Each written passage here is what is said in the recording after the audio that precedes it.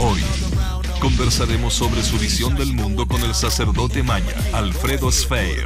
Además, Loreto Iturriaga, hija de Raúl Iturriaga Neumann. Mentiras verdaderas. Hoy 22 horas. La red.